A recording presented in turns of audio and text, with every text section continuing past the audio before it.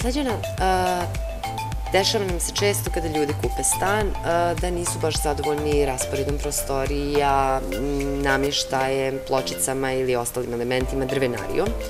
E, šta treba uraditi prilikom renoviranja stana, na koji način renovirati stan?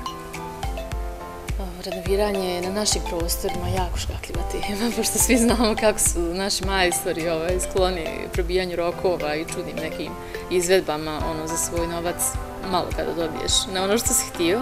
Ovaj, ne kažem svi, naravno, ima izuzetaka, ali upravo te izuzetke treba da nađemo što znači obavezno uzimati majstore ili firmu po preporuci. Znači neko ko već znamo da je to urađeno treba i ko nam garantuje, ima neki papir za to sve ili ono, ako nema obraza da bar ima papir da ga ganjamo poslije.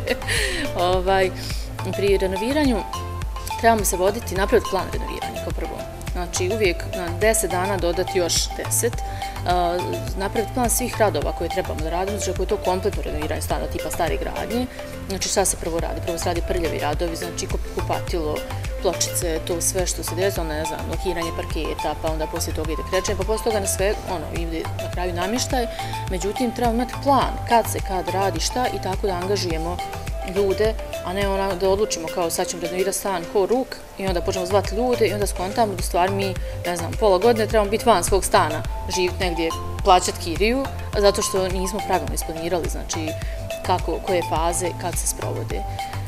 Najbitnije je imati dobru ekipu, imati sreće na kraju da se stvarno ta ekipa koja, koja renovira ovaj, da budu kako treba. A druga stvar koja je jako bitna i koju ja uvijek preporučujem da se angažuje nadzorni organ, odnosno lice, neko stručno koje će to umjesto nas pratiti, jer e, osoba koja nije stručna ne zna, ne može pratiti ni radnika, ni keramičara, ni vodoinstalatera, ni bilo koga, niti građevinske radove što se radi ovaj, u stanu.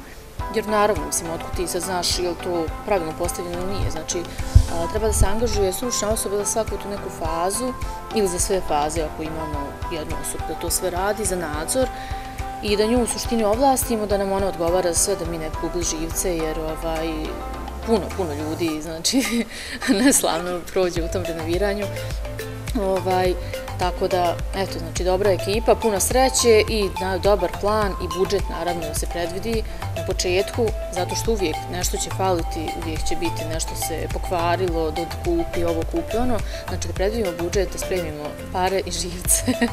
I taj nadzorni organ koji će sigurno odraditi to na najbolji i najkvalitetniji način. Naravno, naravno. To je to.